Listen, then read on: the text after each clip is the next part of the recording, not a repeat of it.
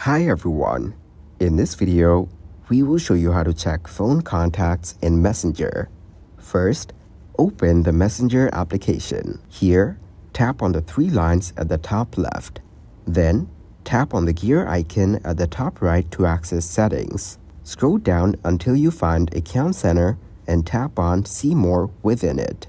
Once in the Account Center, scroll down to your information and permissions and tap on it. Here, you will find Upload Contacts. Tap on it and then continue through any prompts or permissions Messenger requests.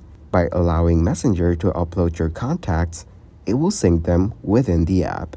You can manage these contacts by tapping on Manage Contacts which will likely prompt you to log in to your Facebook account. Once logged in, you should see a page displaying all your contacts that Messenger has synced. You can edit or delete contacts as needed from this page. If it doesn't load immediately, give it some time, especially if you've just enabled this feature. Once done, your phone contacts will be uploaded to your Messenger app. Thanks for watching, like the video, and subscribe to the channel for more content like this.